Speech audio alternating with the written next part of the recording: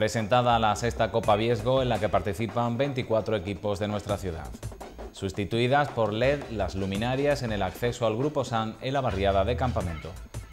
Clausurado el programa Disfruta tu puente en el que han participado un total de 80 niños y niñas. El lunes se abre la convocatoria de becas para infantil de 3 a 5 años.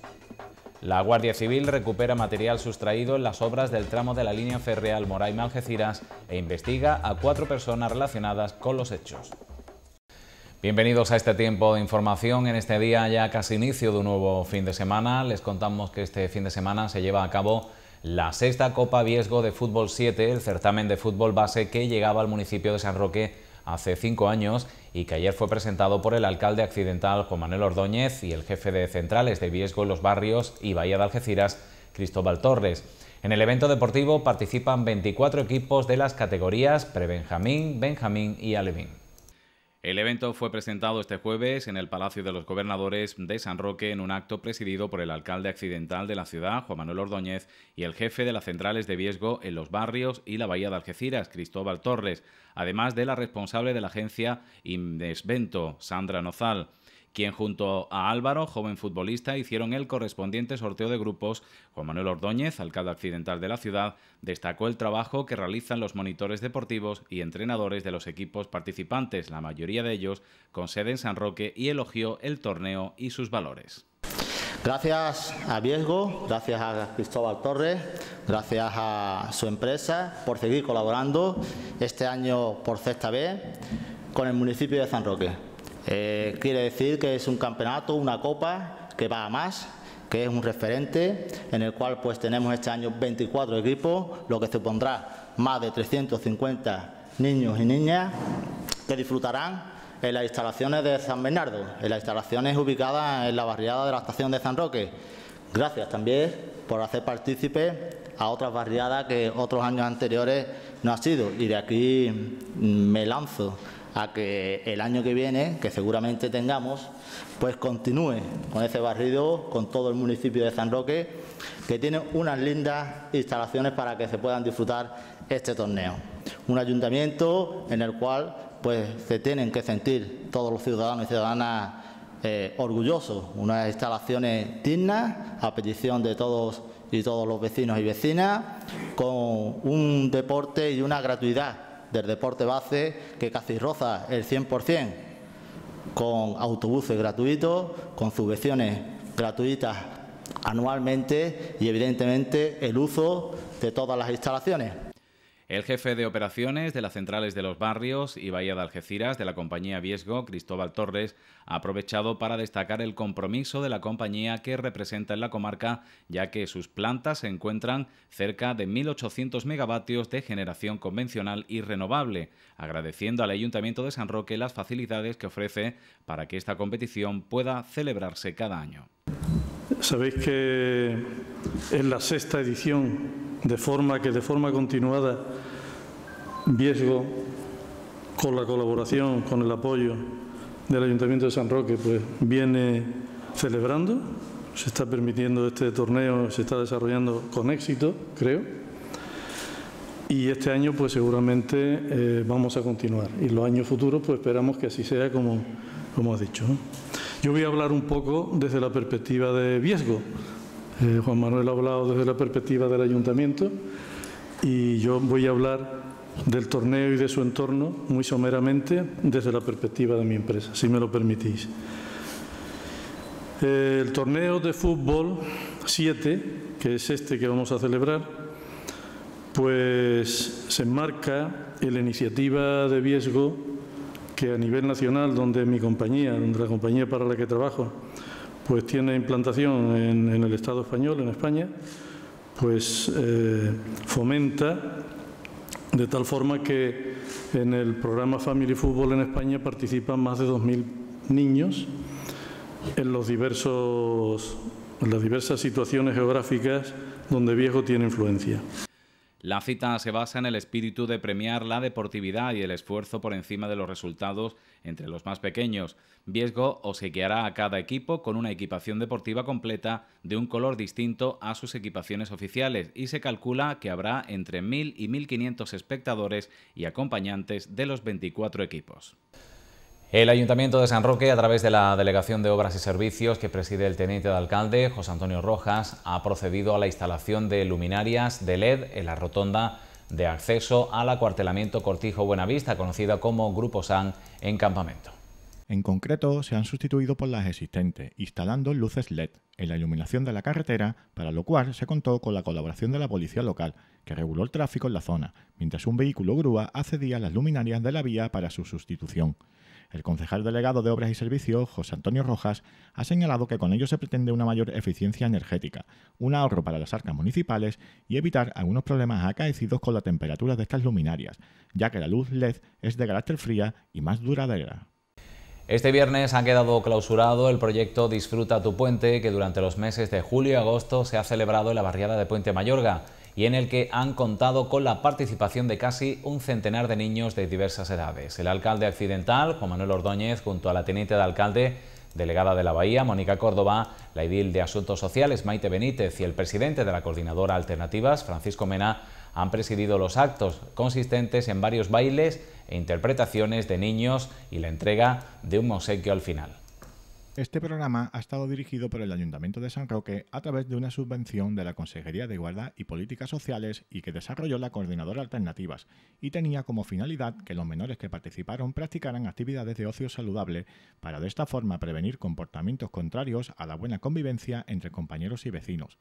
Dentro de este programa se han desarrollado diversas actividades, todas ellas organizadas por quincenas y con diferentes temáticas, juegos tradicionales, reciclaje, ciencia, baile, así como la realización de actividades extraordinarias, contando con la participación y colaboración del Ayuntamiento de San Roque, la Fundación Márgenes y Vínculos, Diputación y la Fundación CEPSA. Las actividades se han llevado a cabo de lunes a viernes de 10 a 13 horas los meses de julio y agosto. Nuevo programa que ha llevado Alternativa a través de una subvención de la Consejería de Igualdad y Asuntos Sociales, también a través del Ayuntamiento de San Roque, en el cual dirige mi compañera Maite Benítez de la Delegación de Asuntos Sociales e Igualdad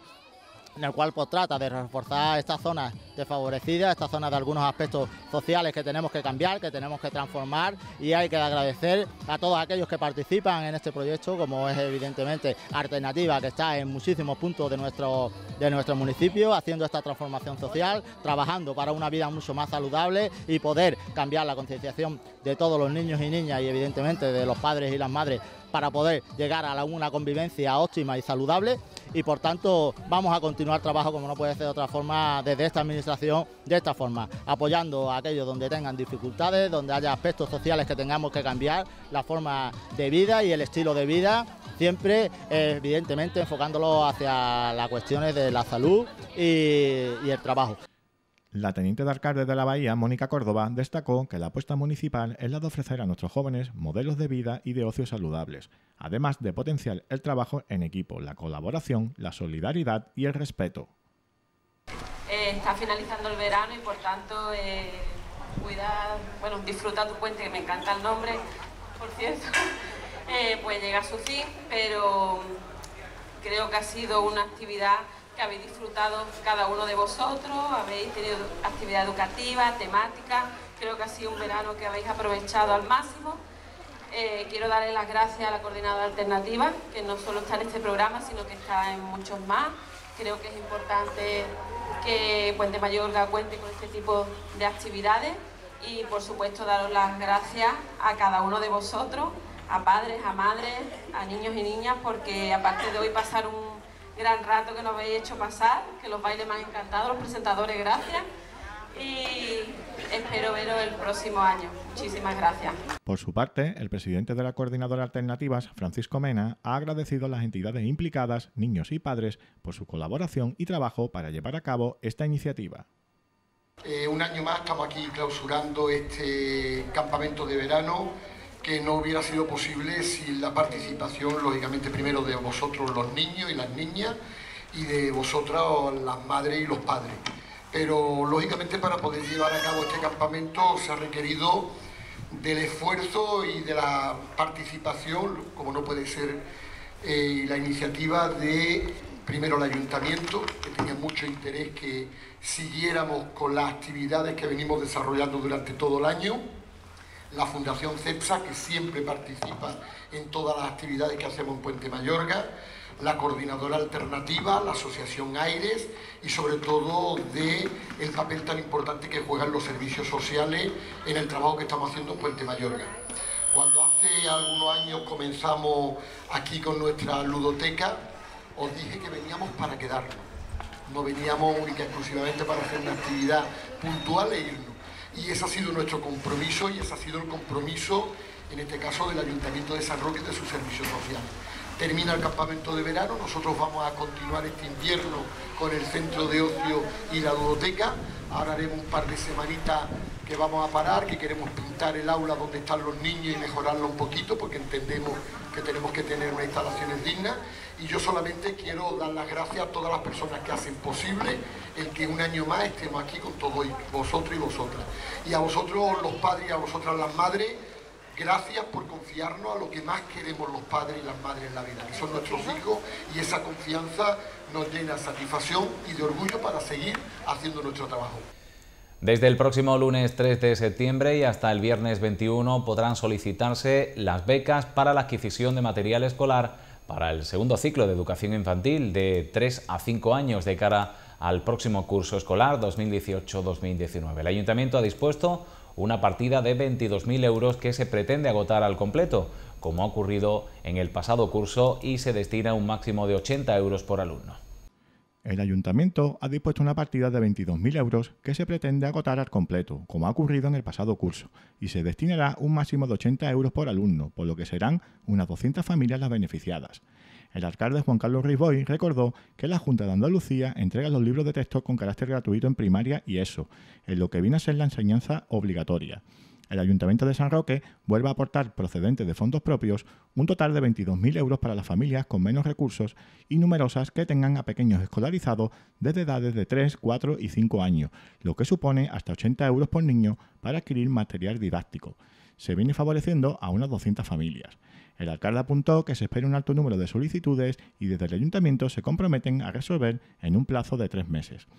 Por su parte, la concejal de Educación, Belén Jiménez, destacó que el objetivo es que esta partida se consuma en su totalidad para llegar al máximo de familias posibles. El año pasado se beneficiaron 249 alumnos y se agotó la partida, lo que se quiere volver a repetir el próximo curso. Para la DIR es importante el grado de compromiso del equipo de gobierno en esta materia. Sirva esto de ejemplo. En 2014, el umbral de renta para una familia de dos miembros se situaba en 10.000 euros y en este curso se incrementó hasta los 22.000, cifra que se repite en el 2018-2019.